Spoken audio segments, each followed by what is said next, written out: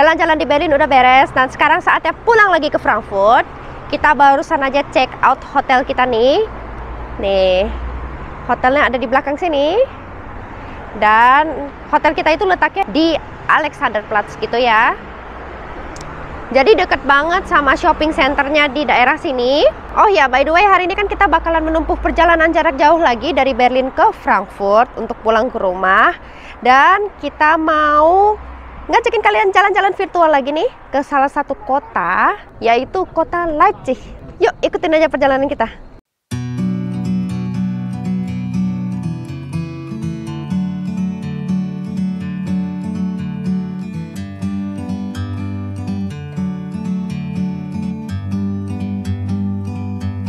like a bird on a tree. I'm just sitting here. Sebelum kita melakukan perjalanan jauh, kita mau beli jajanan dulu ya. Kita kayak mau beli bekal-bekalan dulu nih sebelum jalan. Dan kita lagi di Dongson Center lagi dong, masih nggak bisa move on dari kemarin. Aduh, masih kepikiran itu ya jajanan-jajanannya yang belum sempat kita beli kemarin. Cuacanya hari ini ngomong-ngomong bagus banget loh. Sunny banget ini di luar. Dan hari ini hari Minggu, tapi di sini tetap rame. Kalau aku baca-baca di internet, Dongswan Center ini setiap hari buka kecuali hari Selasa. Bebek seksi. Bebek seksi. Ternyata buka.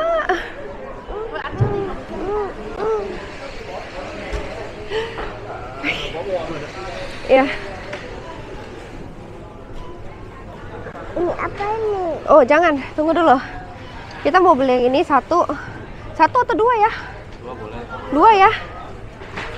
Kita beli kayak ginian cuma di Berlin doang guys, di Frankfurt kita nggak pernah beli ya. Em, kita pengen beli ini. Eh aku pengen ini dong satu. Baby muffin. Kue beras. Baby Ini kue lapis beras. Baby um. Mau taruh.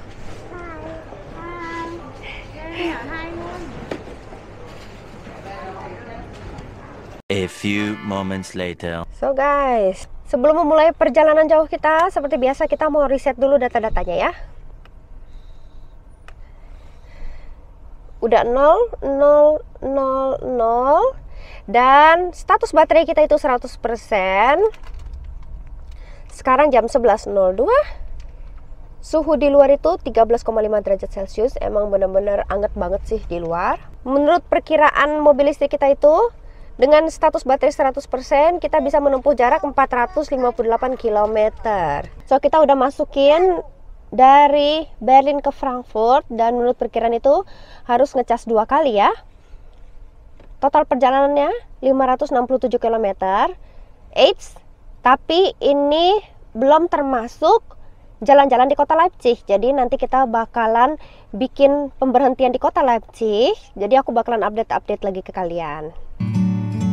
From up here, the world seems small. We can sit together. It's so beautiful, you and me. We meant to be in the great outdoors, forever free.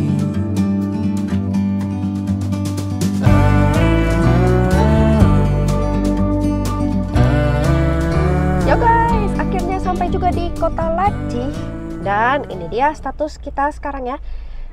Status baterai kita 41% dan kita putuskan juga untuk ngecas aja selama kita jalan-jalan di kota Leipzignya.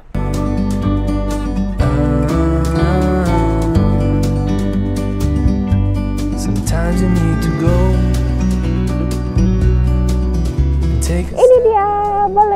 balai kotanya kota Leipzig alias Rathaus. Dan kita sekarang ini lagi di tengah-tengahnya ya. Jadi di sekeliling kita ini ada tempat shopping center gitu, ada toko-toko dan juga ada tempat jual makanan, ada restoran, ada kafe. Jadi di sini lengkap banget ya ternyata. Dan bangunan-bangunannya sendiri juga kayak masih bangunan jadul-jadul gitu interesting banget liatin kayak bangunan jadul-jadul kayak masih indah banget kayak masih dirawat.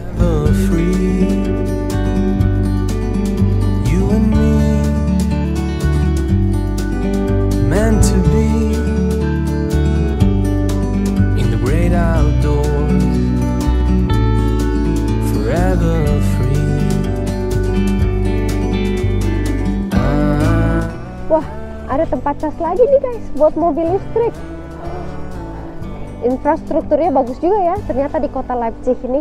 Ideal banget buat orang-orang yang mau shopping atau mau belanja di kota bisa sambil ngecas dulu deh.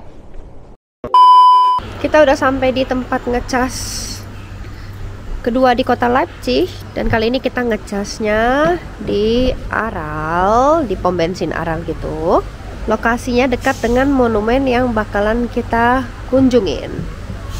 Salah satu turis atraksi gitu ya. Udah mulai ya proses ngecasnya.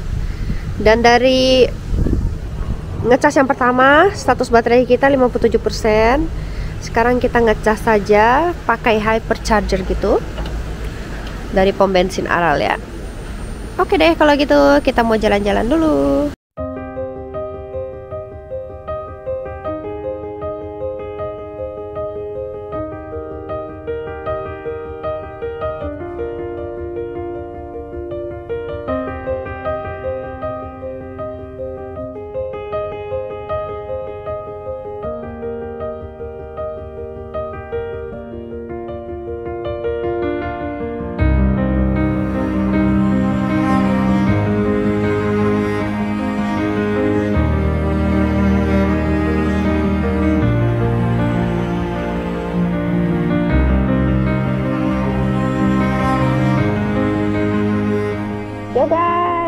Guys, udah selesai jalan-jalannya di kota Leipzig dan sekarang kita mau menuju ke kota Frankfurt. Jarak totalnya itu 403 km yang mesti kita tempuh dan kurang lebih sampainya jam 20.56. Nah, di sini kita dikasih tahu ya. Dan untuk menempuh jarak ke Frankfurt itu kita mesti ngecas satu kali lagi. Untuk kondisi baterai kita udah 100% nih habis kita ngecas di aral pom bensin dan dengan 100% kita bisa menempuh jarak 272 km. So, sekarang jam 16.25 suhu di luar 16,5 derajat Celcius. Yuk, let's go.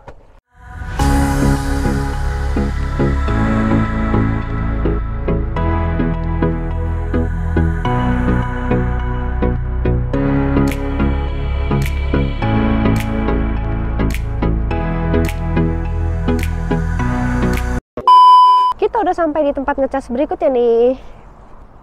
Kita ngecasnya di pom bensin Aral. Dan ini mesti keluar jalan tol sedikit ya. Di situ ada pom bensinnya.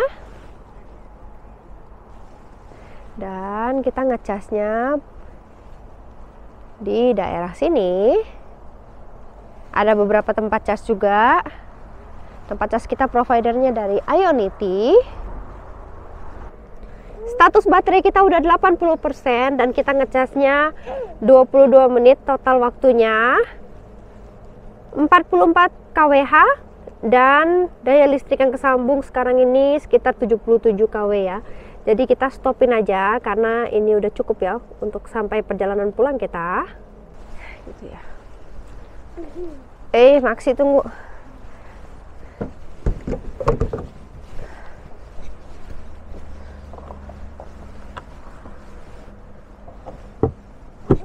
One hour later. menempuh perjalanan jarak jauh itu benar-benar capek banget ya. By the way, bagi kalian yang punya mobil listrik juga, kalian udah pernah melakukan perjalanan jarak jauh berapa kilometer sih dengan mobil listrik kalian? Yuk, langsung komentar aja di bawah. Akhirnya kita sampai juga di Frankfurt.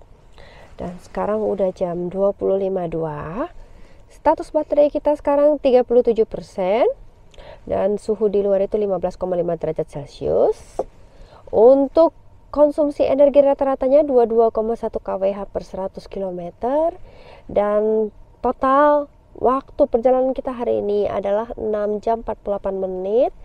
Dan jarak tempuhnya 603,1 km kita udah benar-benar capek banget so sekarang kita mau langsung istirahat aja Bagi teman-teman yang belum subscribe channel Mama Goci, jangan lupa subscribe sekarang juga dan nyalakan loncengnya supaya nggak ketinggalan video-video lainnya.